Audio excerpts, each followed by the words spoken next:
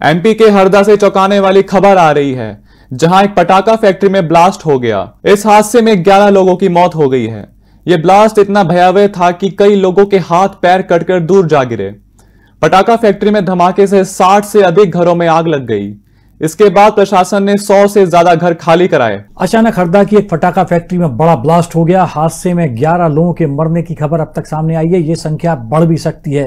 100 से ज़्यादा लोग इस हादसे में घायल हुए हैं। फैक्ट्री के आसपास सड़क पर भी कुछ शव पड़े हुए नज़र आए। प्रशासन ने 25 से ज़्यादा गंभीर घायलों को तत्काल हरदा जिला अस्पताल में भर्ती कराया। रेस्क्यू ऑपरेशन में हेलीकॉप्टर की भी मदद दी जा रही है। फटाकों की ये फैक्ट्री मगरदा रोड पर बैरागढ़ गाँव में है। फैक्ट्री में धमाके की आवाज़ 40 किलोमीटर दूर तक सुनाई दी। इससे पूरे हरदा ज़िले में दहशत का माहौल बना। ब्लास्ट के कारण दुकानों में लगे कांच भी टूट गए।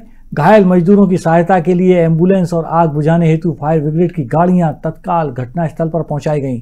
मुख्यमंत्री डॉक्टर मोहन यादव ने तत्काल घटना का संज्ञान लेते हुए मंत्री Uday Pratap Singh, ACS Ajit Kesari, DG home guard Arvind Kumar को मौके पर भेजा। भोपाल, इंदौर में मेडिकल कॉलेज और एम्स में वन यूनिट को आवश्यक तैयारी करने को कहा गया है। वहीं इंदौर, भोपाल से फायर ब्रिगेड की दमकलों को भेजा गया है। मुख्यमंत्री ने राहत कार्यों के लिए वरिष्ठ अधिकारियों को निर्देश जारी किए और उसके बाद राहत कार्यों की समीक्षा भी की। जो हो सकता है वो सब करने के लिए लगभग पचास से ज़्यादा एंबुलेंस हमने रवाना कर दी है, जिसमें घायलों को तुरंत नज़दीक के हॉस्पिटल में इसकी सुविधा मिले बर्न यूनिट चालू हो जाए, इसलिए इंदौर, भोपाल, होशंगाबाद, सभी दूरबाद यूनिट और डॉक्टरों की टीम तैनात कर दी। साथ ही साथ एक हेलीकॉप्टर से मेरे अपने कैबिनेट में जानकारी है जैसे मंत्री Rao Pratap Singh A C S Ajit Kesari DG home को स्पॉट पर रवाना किया, चार सौ से ज़्यादा पुलिस बल भेजा है और भारत सरकार को भी अवगत कराया, जिसके माध्यम से वो तुरंत उनके यहाँ से मदद मिले।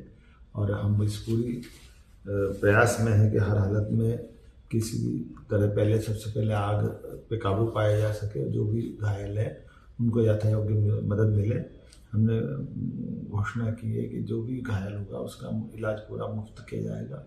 जिनके घर में ये घटना घटी है या जिनकी मृत्यु हुई है, उनको परिवार को लगभग चार लाख रुपया प्रति परिवार उसमें देने की हमने घोषणा की है। साथ ही साथ कोशिश कर रहे हैं कि इसमें जो घायल हैं, उनको पूरा यथायोग्य सब प्रकार का इलाज कराया जा सके। बाबा महाकाल सबके कृपा करेंगे, मैं इसी उम्मीद करता हूँ यद्यपि घटना बहुत भीषण है और हम प्रयास करेंगे, किसी हालत में घटना की पुनरावृत्ति नहीं हो। और इसी में इस घटना के जाँच के आदेश भी मैंने दिए हैं, होम सेक्रेटरी इसकी जाँच करके पूरी रिपोर्ट मेरे को देने वाले हैं। उम्मीद करता हूँ कि जल्दी जल्दी आग पर काबू पाया जाएगा।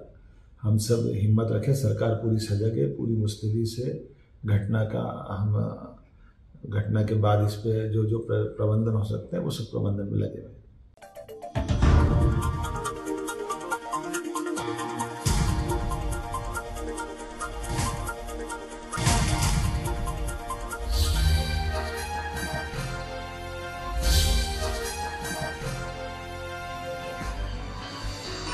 आप देख रहे हैं दखल न्यूज़